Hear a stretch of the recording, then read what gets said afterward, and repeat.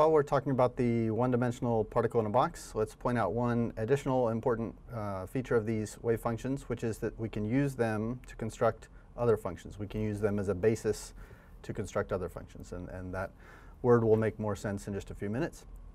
So you might be familiar with Fourier series. You, it's something you might have heard of before, which is the idea that if I have a periodic function, I can use sine waves and cosine waves uh, to construct any periodic function I want. And if you haven't heard of uh, Fourier functions, Fourier series before in another course, that's okay. But if you have, you can use those as an analogy for what we're about to talk about, which is the fact that if I have some wave functions, like let's say the particle in a box wave functions, I can write any function I want, any, any function I choose to, to write down, at least any function that obeys the same uh, boundary conditions as, as the periodic, uh, uh, as the 1D particle in a box wave function, I can construct that function, I can build that function up out of a linear combination of the wave functions. So I can take wave function psi sub 1 plus psi sub 2 plus psi sub 3. Instead of just adding them together, I add them together with some different coefficients in front of them. And by taking a combination of all these wave functions together, I can build up any other function that I like. Uh, so to give you an example of what I mean by that, let's do uh, a concrete example. Let's say my function is a parabola. I'm going to take the parabola negative x squared plus ax. And if we put up a graph of what that function looks like on the screen, then that's a parabola that points downwards. That's the graph of this parabola. And what I've claimed is that I can construct that function by adding up wave functions. So for the 1D particle in a box, those wave functions are sine waves, sine of n pi x over a. Right?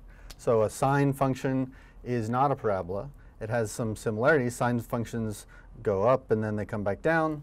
So it's not unreasonable to say I could make something that looks a little bit like a parabola by using a sine function, and that's what we can do if we put up the next figure on the screen. This orange graph right here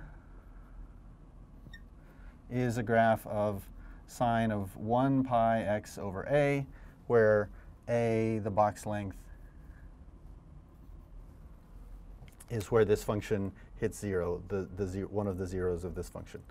So you can see here that, that the, the sine wave, the orange curve, is uh, similar in the sense that it has a peak in the middle and zero on the two edges, but it's not exactly the same mathematical function. Certainly the orange function is not the same as the white function. Sine of n pi x over a is not the same as a parabola. But I didn't say I could do that with just one wave function. I said if I took a sum of, of multiple wave functions, and in fact if I add to this uh, let's see, and let's do that in a different color. If I take and add sine of 3 pi x over a, and then we'll pull up the next graph on top of this one, that's what I've got in this yellow curve,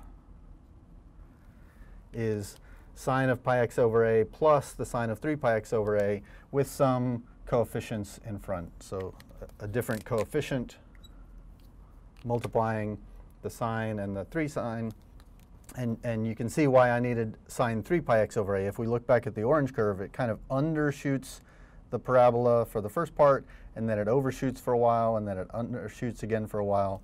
So what I needed to add to the orange curve was something that was a little bit positive over this range, and then negative over this range, and then positive over this range. So in other words, something that looked a little bit like positive, negative, positive. So that's something like sine of 3 pi x over a. So I'm using this sine of 3 pi x over a to fix the deficiencies in the orange curve. And when I add the this uh, sine 3 pi x over a with a small coefficient to the orange curve, then I get the yellow curve. And you can see here, unless you look very closely at the screen, there's a few places where you can see the yellow curve and the white curve are not exactly the same, but I've made sine of pi x over a and sine of 3 pi x over a, the sum of those two, very, very close to a parabola. And if I wanted to make it even better, I could continue and add uh, sine of, of different n pi x's over a. And the more of those I add, the, the closer and closer I can get to approximating this function. So that's what I mean when I say I can add up wave functions and construct or build any other function that I want to. Uh, that's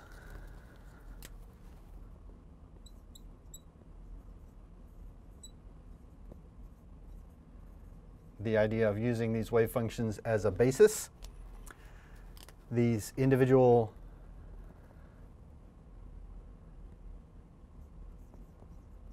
functions themselves, we can call those basis functions. So the functions that I'm using to construct this other function are these wave functions. So I'm using these wave functions as basis functions, and taken together, we say they are a basis for constructing another function. Uh, so that leaves only one question, which is uh, perhaps I've, I've convinced you with an example that this might be possible, but it's only useful if we can have a recipe for how to calculate what these coefficients are. So I can tell you, for example, that uh, when I constructed this example, I used 0.182 times the sine wave and 0.007 of a sine uh, wave with three times the frequency. So how did I know to use those particular coefficients? How do I know in general how to find the C sub n? And it turns out that's not very difficult to find what the C sub n should be as long as our wave functions are orthonormal, as we've seen that the 1D particle in a box wave functions are. So let's go back to this expression. So the function is the sum of a bunch of wave functions multiplied by some coefficients that we're interested in finding the values of. To find out what those values are, essentially to isolate the coefficients in this expression, what I can do is I can take, choose the coefficient that I want to know the answer to. Maybe I'm interested in C sub 3 or C sub 5 or C sub 7. I'm interested in some particular coefficient. So if I take the coefficient I'm interested in, let's call that the, the kth coefficient, coefficient number k. If I multiply both sides of this equation by that wave function, so I'm going to multiply on the left by psi k with a star, complex conjugate, on the right. This is a sum, so each term of that sum I need to include uh, psi sub k with a star. So again, I multiplied from the left-hand side, and the reason I wanted to multiply from the left-hand side is because the next thing I'm going to do is, now that I've got a, a, wave function with a complex conjugate times a different wave function, I want to integrate both sides of this expression. So if I just throw an integral sign on both sides of the expression, this looks familiar. This is an overlap integral of the type that we have talked about. And uh,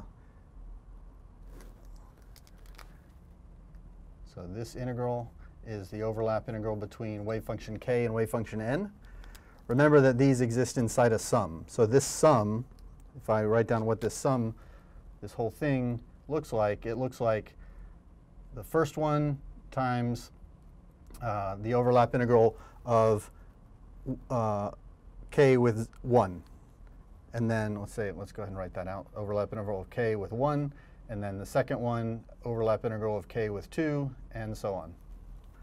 So what we know about these overlap integrals, since the wave functions are orthonormal, if k is equal to 1, then this thing will be equal to 1. Otherwise, it will be equal to 0. And whichever one of these terms is equal to 1, all the other ones have to be 0. k is equal to exactly one of these ends. It's either equal to 1, or it's equal to 2, or it's equal to 3. So this overlap integral, they will all be zeros except for one of them. And the one that will not be 0 is the one where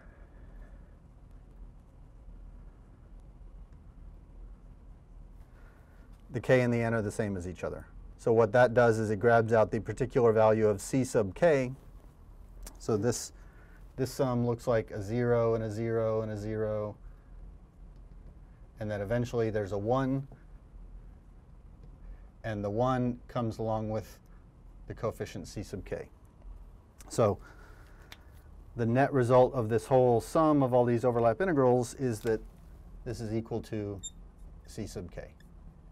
And on the left side, I still have complex conjugate of psi sub k times the function integrated. So if I want to know what is the value of the kth coefficient, coefficient c sub 1 or c sub 3, I just take my original function that I'm interested in, maybe the parabola or something else, multiply it by the kth wave function uh, with the complex conjugate, and take the integral. And that's how we, we find the value of these individual coefficients. So that's a recipe for finding what the coefficients are that I need to build up my arbitrary function out of these individual wave functions. Uh, so with that, we know how to use one-dimensional particle in a box wave functions as a basis. Just to recap, we know we've seen that one-dimensional particle in a box wave functions are normalized. They're mutually orthogonal to one another, so those two things together make them uh, orthonormal. They're an orthonormal set of wave functions. And because they're orthonormal, I can use them to construct other functions. Uh, so the next thing we'll do with that piece of information is to see how to use these one-dimensional particle in a box wave functions to describe some problems that actually have relevance in the real world.